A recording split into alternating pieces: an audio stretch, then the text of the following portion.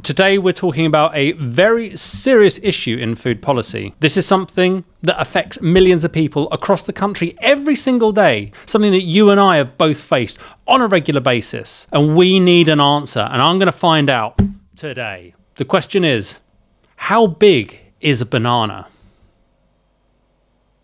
Whether you're buying bananas at a local shop and it's one banana is 27p, but how big is that banana? You might be making some banana bread and there's a recipe that says add two bananas, but well, like, which one? Which size? They're different. Or you might be tracking your calories. You're on a diet and you want to add one banana, but again, you're like, um, I don't know how big it is. So today we're going to answer that question. We're going to find out how big is a banana, but also we're going to find out does size matter?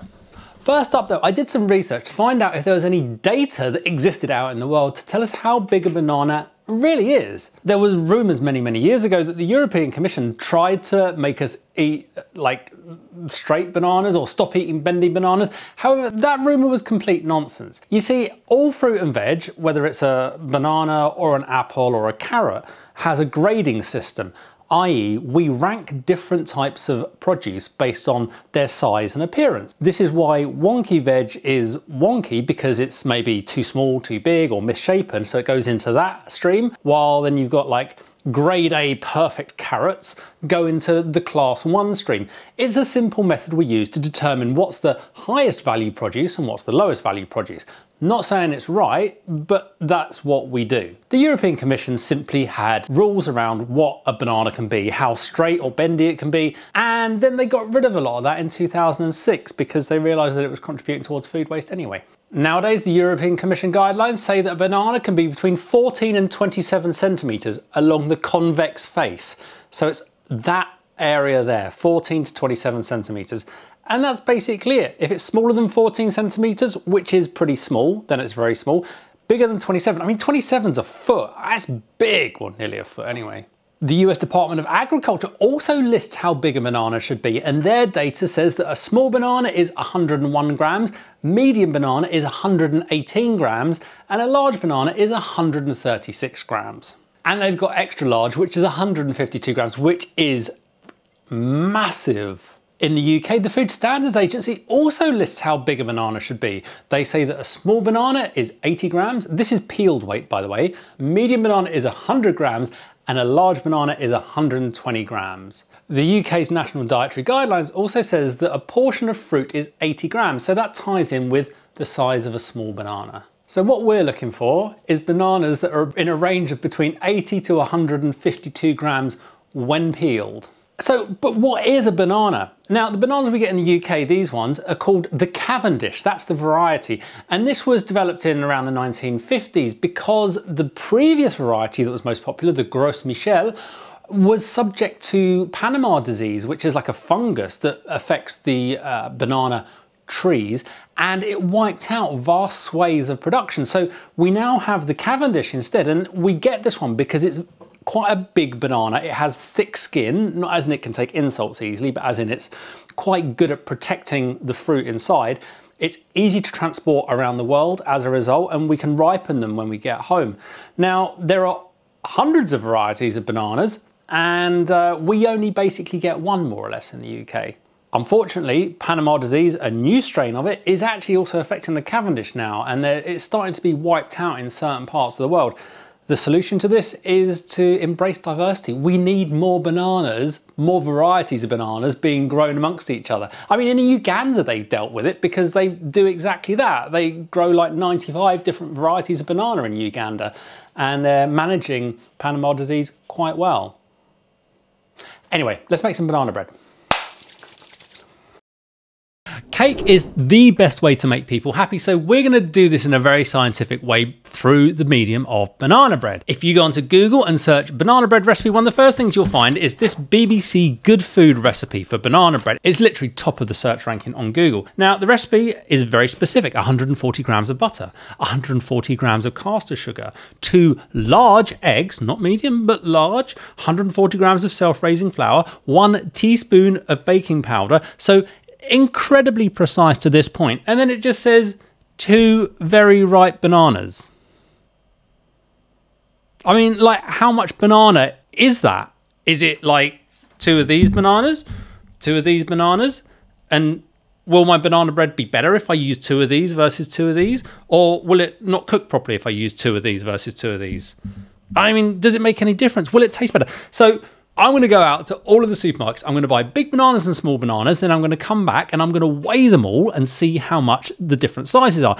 Then I'm going to leave them on the side to ripen for 10 days. Then we're going to come back. We're going to weigh them all again. And then we're going to make three different banana breads using large bananas, medium bananas, and small bananas. So we're going to scientifically discover whether the size of your banana makes any difference to the quality of your banana bread. I genuinely think this might be the most important video I have made so far. So here are the results from the banana purchases. I went to 10 supermarkets. That's M&S, Waitrose, Sainsbury's, Lidl, Morrison's, Asda, Aldi, Co-op, Tesco and Iceland. Out of those 10 supermarkets, here are all the banana sizes. However, what you really want to know is what's the smallest and what's the largest. The smallest banana came from Iceland and it weighed 104 grams, including skin. So that's pretty damn tiny. The largest banana, on the other hand, came from M&S, and that was 238 grams, which, I mean, it's more than double the size of the Iceland one. So that's pretty damn huge. I then left the bananas on the side for 12 days. Unfortunately, at around day 10, the bananas from Co-op went they got completely infested by fruit flies and went rotten. I literally had to chuck them out. They were leaking. It was horrid. So we lost co-op along the way. However, by day 12, the bananas were all very ripe and it was perfect to make some banana bread.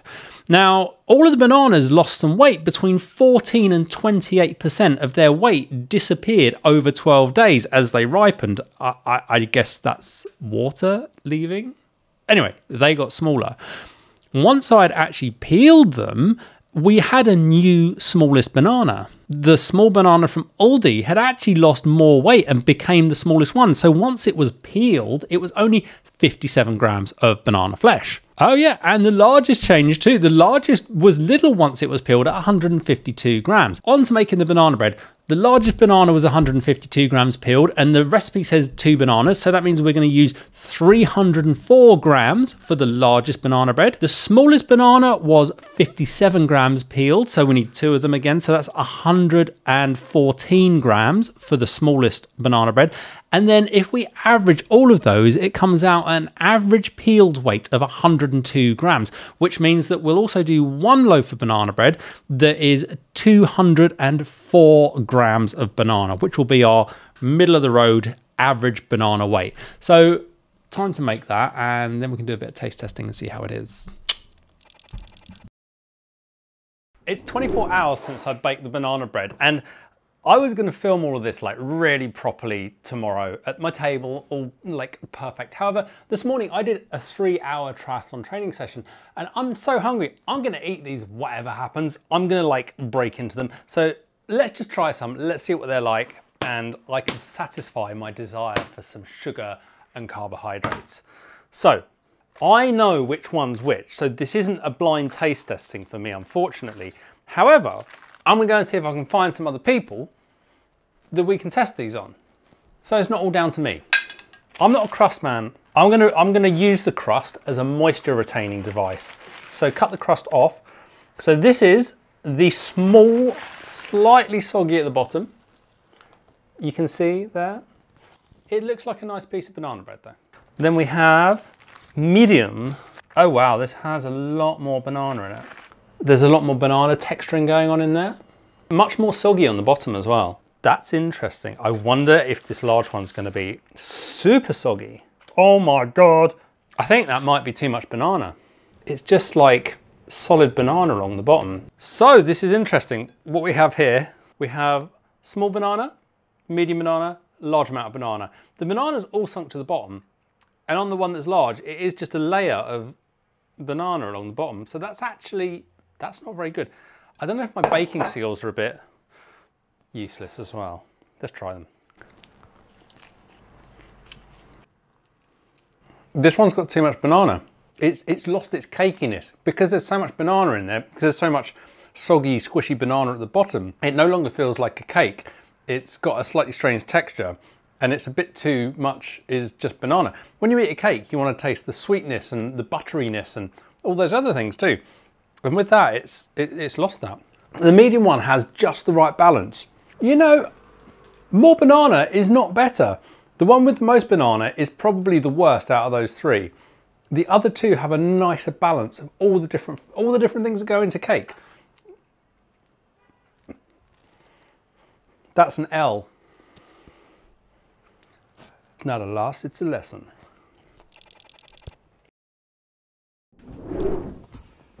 Okay, so you got three pieces of banana bread here. I want you to try a piece of each one and then let me know which one you think is your favourite. Okay, going for the middle one now and the end. First, second, third. That one, Yeah, it has more banana. I think maybe you put more banana than two other breads, but it has higher banana content.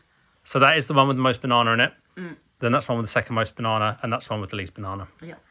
Okay. Hey. So we have the final banana breads here. We've got largest amount of banana, medium amount of banana, smallest amount of banana. I've taste tested these with a few people. Uli did some taste testing here and she actually came back. She said she preferred this one. However, she did concede they all actually taste nice at the same time. I also donated some to some of Uli's neighbours as well, and they just said, yeah, they taste really good.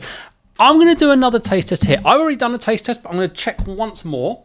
It's had a few more days to mature. Let's just do a proper slice all the way across there. Boom.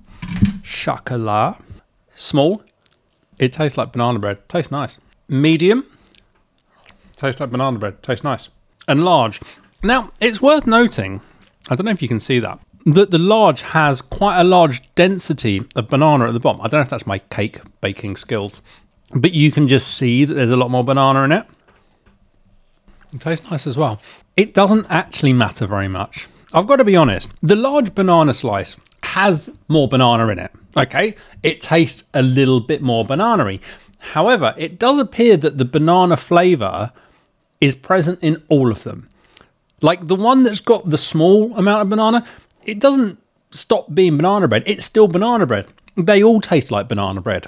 This one tastes a bit more banana-y. So, in conclusion, what are the results? Well, to start with, when we bought the fresh bananas, the average banana weight when it was fresh from the supermarket was 167 grams. That's the average bang down the middle. So that's what an average banana size is. Now, obviously, it varied a lot either side of that. Once it had ripened, which is 12 days of ripening, so in fact, longer than you would leave it if you were going to just eat it, because they turn into almost like mush by that point, which is also when they're at their sweetest, which is why they're great for baking at that point. By that time, we were down to an average of 102 grams of banana flesh. So, what can we determine from that? Well, we can understand that the average banana weighs 167 grams from a supermarket, and when peeled, I don't know what it is when it's peeled, but it's on my phone. So what I did was I went to the supermarket and bought some fresh bananas and I found one that weighed exactly 167 grams. I then peeled it and put it on the scales and it weighed 104 grams when it was peeled. So that means a fresh average size banana is 104 grams of banana flesh. Which means that as they ripen, the main thing that changes is the weight of the skin. And so the big question is does size really matter? And well, no, not really. A banana still tastes like a banana, whether it's small, medium, or large. If you are a size queen, then, well, perhaps, or king, then perhaps maybe stick to your big ones. But if you're just making banana bread, don't get hung up. It's still going to taste good anyway. It's cake. It tastes good. Whether it had, even if you took the bananas out of it, it would still taste good because it's cake. So don't get too hung up. As long as it's a banana, as long as it's ripe, that's the important thing.